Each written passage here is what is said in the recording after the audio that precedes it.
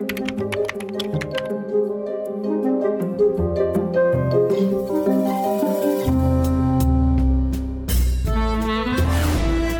казалось бы, сколько тайн хранит этот всем известный город. Но поверьте, жемчужине у моря и сегодня есть чем удивить.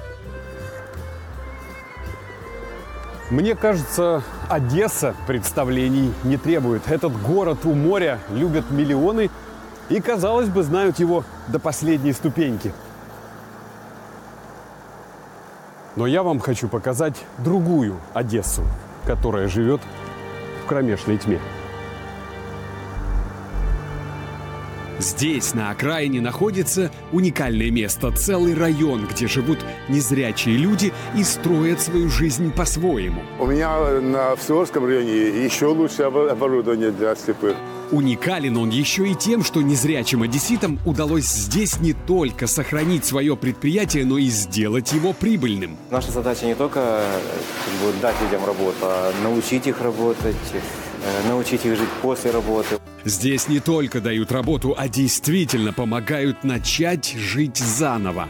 Я понял, что я слеп. И впервые я подумал, пожалел о том, что я сдал оружие. Мы летали с оружием с пистолетом. Дострелиться, что ли? Для тех, кто живет на ощупь, нужны специальные знания и навыки. Без них незрячие просто обречены. Она вообще не двигалась. Ее привезли, она вот, вот так вот, вот только двигалась. Вот так. Это у нас уже прогресс. Испытания не заканчиваются и после школы. Работы для слепых не так и много, да и зарплаты оставляют желать лучшего. Но главное, чего хотят эти люди – изменение отношения к ним окружающих. К примеру, да, среди юристов сидит зрячий, к примеру, там нотариус, да, юрист, и незрячий. Вот по большому счету общество к какому пойдет? Ну так, положа руку на сердце. Благодаря чему Одесса стала одним из лучших городов для слепых в Украине.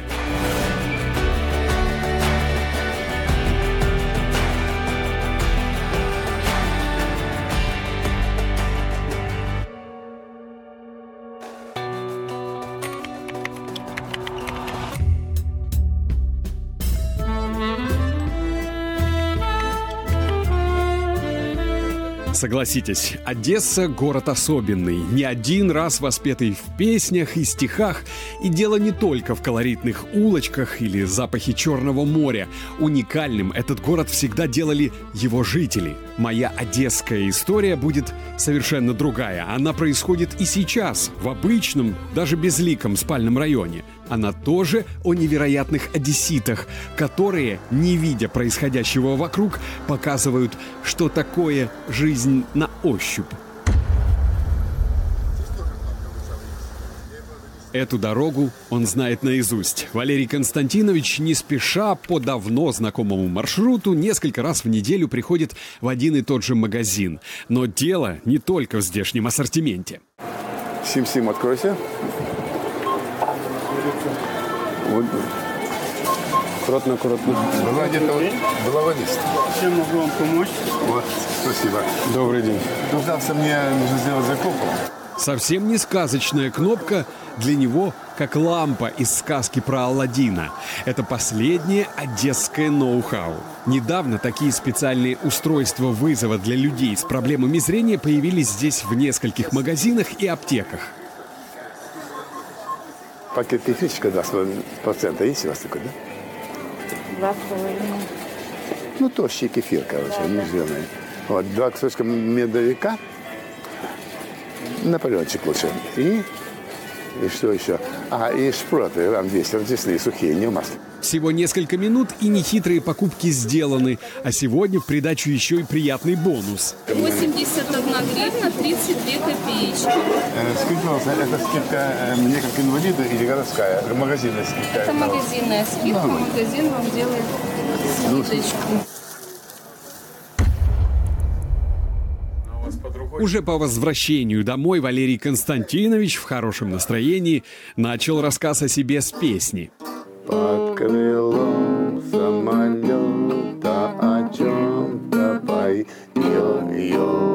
Зеленое море тайги. Ребята, я забыл.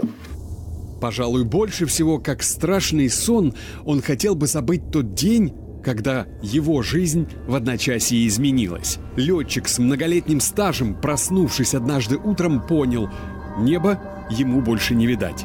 Впрочем, как и всего остального. Утром проснулся и ничего не вижу. Я и так, и так, тру, и так, и так, но ничего не вижу. Я понял, что я слеп. И впервые я подумал, пожалел о том, что я сдал оружие. Мы летали с оружием, с пистолетом. Дострелиться, что ли? Потерю зрения он пытался скрывать от своих близких и даже от себя. Шок, Это для него был настолько тяжелый шок, что я как-то прихожу с работы, а он смотрит, смотрю, ставит чашку, мимо, чашка упала, столько посуды перебитой. Остаток его зрения всего 2% на одном глазе. Это хоть и позволяет различать свет и тень, но Валерия Константиновича это мало утешает. Ему буквально пришлось, что называется, учиться жить по-новому. И начал он с малого. Заварить чаю, и сейчас целая история. Посмотрите, как я воду заливаю.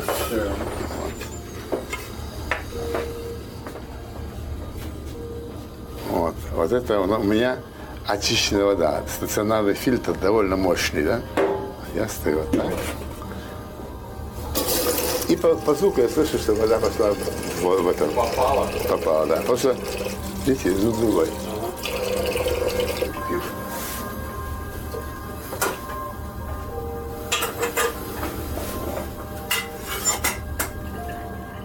Теперь звук – один из его основных ориентиров, но полностью положиться на него не всегда получается. Иногда меня злость такая берет, потому что вот я денег не вижу. Я, вот, меня не часто обманывали, но обманывали капитально. В транспорте и, и- и в трамвае грабили, потому что я не вижу. Это сейчас Валерий Константинович легко показывает, чему научился за долгие годы. А тогда, 29 лет назад, летчик, который еще помнил небо, долго не мог понять, как найти свое место на земле. И если в родных стенах он научился жить, то что делать в большом и теперь уже неизвестном мире он не знал. Думаю, ну не может быть, чтобы никто на, слепых внимания не обращал. Тогда я не знал даже, что есть общество слепых. То есть знал теоретически. Вот. Это, позвонил, узнал, где-то общество слепых.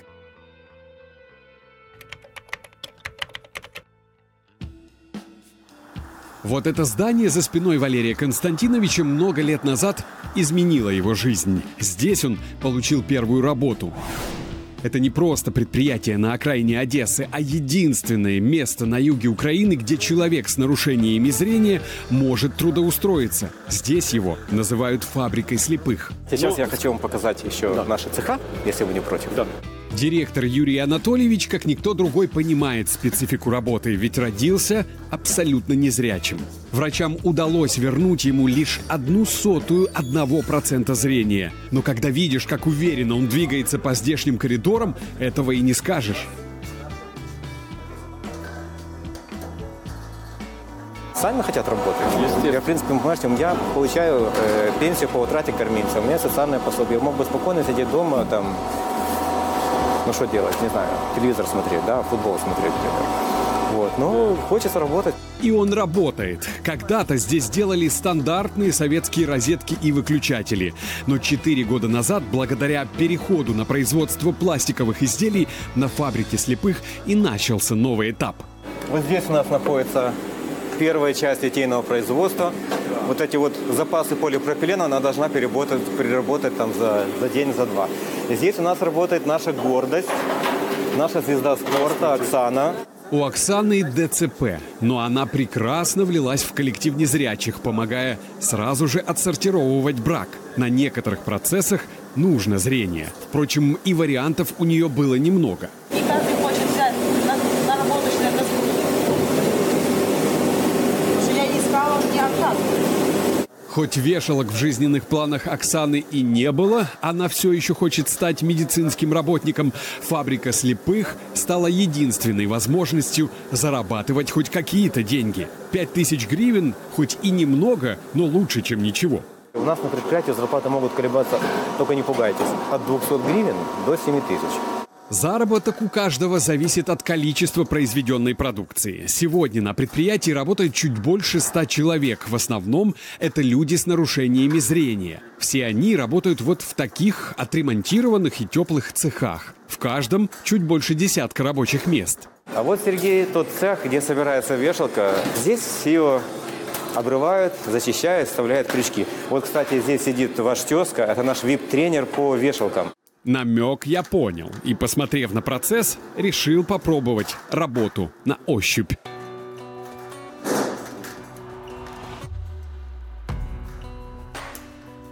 Первый блин пошел комом.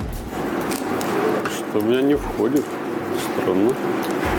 Надо до конца его вставить туда, потом провернуть. А, все, да, да. Есть. А сколько вы за это время сделали?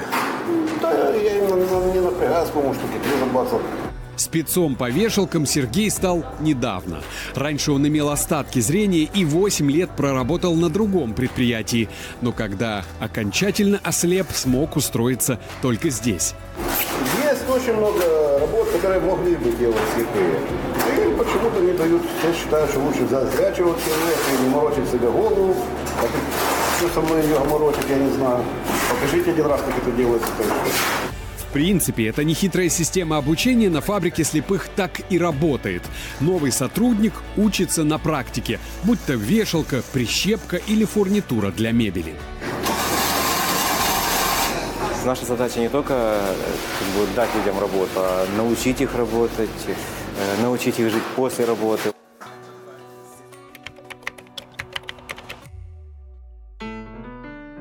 Как правило, людям с нарушениями зрения тяжело уживаться в обществе. От нежелания быть обузой они скорее выберут жизнь в заперти, и это пытаются исправить. Написано шрифтом Брайля, Центр реабилитации.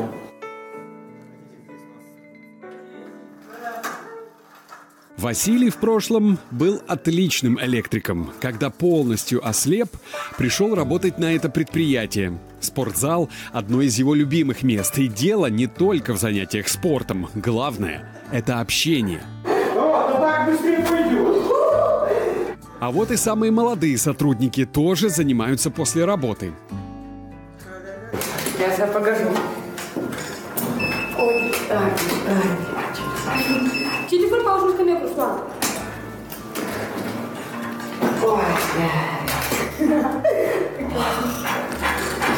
Это лягушка называется? Нет, это не лягушка. Лягушка это вот типа вот так. Типа вот так. Это бабочка. Это бабочка. Это бабочка. Это бабочка. Я застеснялась. Хорошо. Кстати, это их первая работа после школы, поиски которой длились долгие шесть лет. Сама школа находится всего в нескольких минутах ходьбы. Интернат для незрячих – еще одно отдельное государство.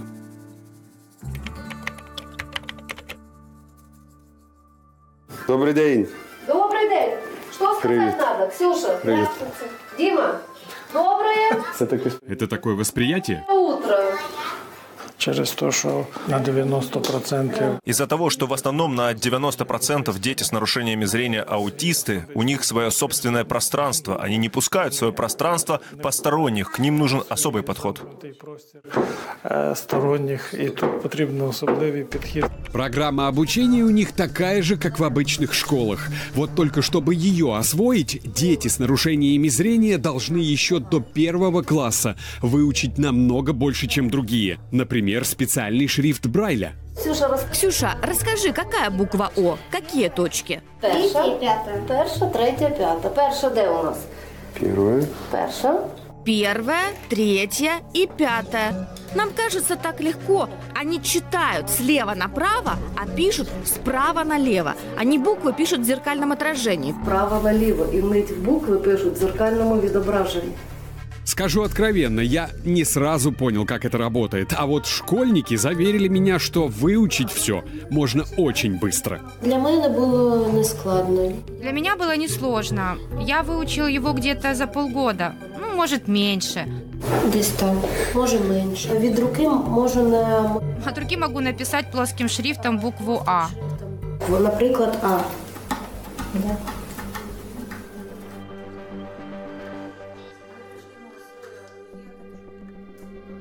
А еще здесь есть уроки вышивания и рисования, где все сводится к тому, чтобы научить ребенка видеть руками. Только тогда перед ним открывается невероятный мир литературы. Всі ми е, бачили Все мы видели школьный букварик, когда дети идут в школу. Так вот, шрифтом Брайля он представляет из себя три книги. собою являє ось три таких книги. Здесь даже с помощью простой лестницы дети учатся преодолевать страх и неопределенность. А теперь было, я твою ручку отпускаю, сама, сама, нет, нет, сама, одной ручкой держишься, одной ручкой держишься, одной, одной, я рядышком, я рядом, рядышком, да, рядышком. Так, хорошо. Она вообще не двигалась. Ее привезли, она вот, вот так вот, вот только двигалась. Вот так. Это у нас уже прогресс. Сама, сама, сама. Тяжелая работа дает свои результаты. К окончанию школы незрячие дети могут ходить самостоятельно. Так. Обратили внимание, как легко он соскочил. Кто может сказать со стороны, что это вообще человек бизнес ноль? Я даже не буду идти за ним, потому что это не нужно совершенно. Он совершенно все самостоятельно сориентируется. Знакомьтесь, это Анатолий. Он ученик выпускного класса. И если бы у него в руке не было трости, я бы никогда не догадался, что он слеп. Для того, чтобы спокойно идти и чтобы легко трость летала, ну, нужна, чтобы рука была расслаблена. Личность должна быть независимой. И не ждать, чтобы э, кто-то помог. Благодаря таким знаниям Анатолий может не только мечтать о полноценной жизни, а жить ею. Кстати, перед вами будущий юрист, но пока он старательно оттачивает свои навыки. Так, ну дальше встречается галька, если не ошибаюсь. Ну, мелкие камни. В сельской местности тоже может встречаться. Возле моря тоже может встречаться. Вы чувствуете этот ракушняк? Это палочка или это... А, это чувствуется и тростью, но и ногами. То есть оно тоже чувствуется. Звук тоже есть. Вон, когда идешь, у него тоже есть свой звук. Анатолий понимает, что заниматься на хорошо знакомой тренировочной дороге легко. А стоит выйти в город за калитку, и все кардинально меняется.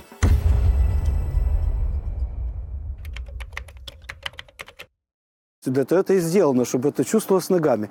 Это специально предупре- предупреждающая плитка о том, что впереди идет либо какая-то опасность, либо переход. Такая плитка называется тактильной. Для незрячего человека один из важнейших ориентиров на дороге. Чувствуя под ногами различные рисунки, незрячий становится похожим на автомобилиста, двигающегося по дорожной разметке. Аккуратно автомобили. Ну, не, ну, я ж, я ж не выйду, тут же видите. А, Вот. Одесское общество слепых последние несколько лет самую активную работу ведет на улицах города. И его руководителю Алексею Николаевичу уже есть что показать. Слышите, да? Ага. Вот идет по стуку, не можно переходить. Звучащими светофорами Одесса оборудована уже на 80%, а это ни много ни мало лучший результат в Украине. Но удобным для передвижения незрячих город стал пока лишь на треть. И чтобы закончить работы, потребуются годы. Но сегодня, по словам Алексея Николаевича, главное, что процесс идет. Если дальше вот городские власти будут в таком темпе идти, то мы лет через 10, так вот э, 20, я думаю, что мы вообще забудем о проблеме э, доступности э, людей с инвалидностью по зрению. Это значит, что он может в перспективе зарабатывать деньги, содержать свою семью, покупать жилье.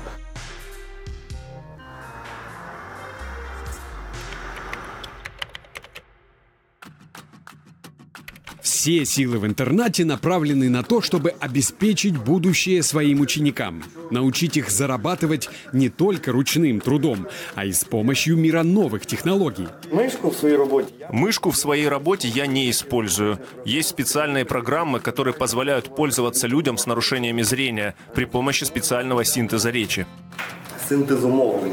Вячеслав Станиславович, когда-то выпускник этой спецшколы, а сегодня учитель информатики, уверяет, что незрячие люди уже могут полноценно работать на компьютере. Наши дети Наши дети в 12 классе во втором семестре изучают основы программирования среды Delphi на языке Паскаль. э, мовою Паскаль. Все, что напечатано, при большом желании можно еще и проверить.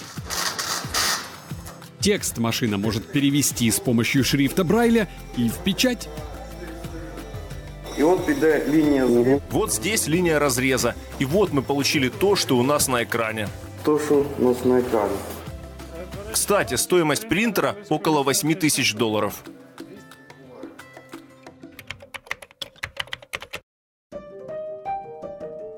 Я решил встретиться с выпускником школы-интерната для детей с нарушениями зрения. Так я познакомился с Евгением. Я если знаю, где кто что стоит, то я легко обхожусь.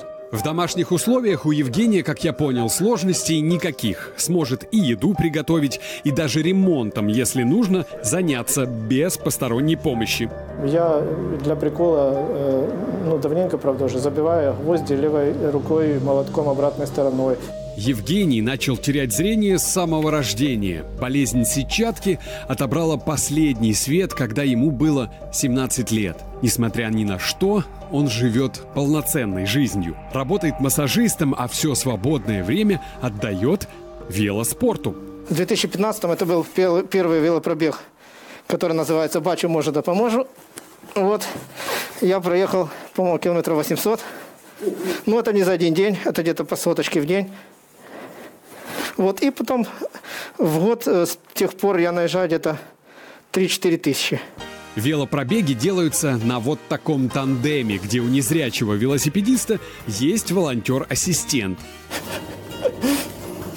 Евгений верит, что устоявшиеся стереотипы о незрячих, как о людях с ограниченными возможностями, самое время менять. Ограниченность э, моих возможностей в том, что мне нужна для того, чтобы я получил от жизни все, посторонняя помощь. Все.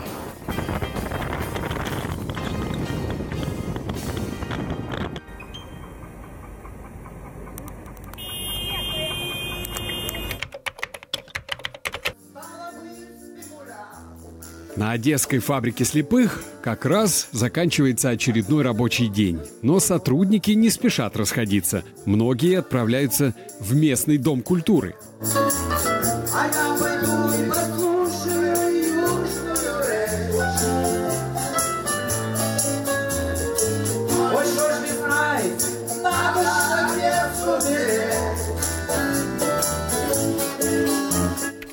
Под душевную музыку окончательно развеялись мои стереотипы о домах культуры как о пережитке советского времени. Тот, в который пригласили меня, искрился жизнелюбием и общением. Незрячий человек, но это уже инвалид, который сидит дома. Ну. сидит дома, да. Это уже инвалид. Мы себя инвалидами не чувствуем. То есть э, у нас жизнь идет точно такая же, как у всех здоровых зрячих людей. Я даже в двух работах работаю. На двух? Да, да. А кем, если не секрет? Мы все работаем. Юристом Я работаю учительницей в школе 93 в 93-й школе. А вы? В школе ночной. Воспитатель ночной. Рассуждая о жизни каждого, все сошлись во мнении. Да, жизнь не сахар, как говорят в Одессе. Но зато незрячие, как никто другой, привыкли преодолевать трудности. Они всегда находят возможности и силы не только песни писать, но и доказывать всем и каждому, что для них нет ничего невозможного.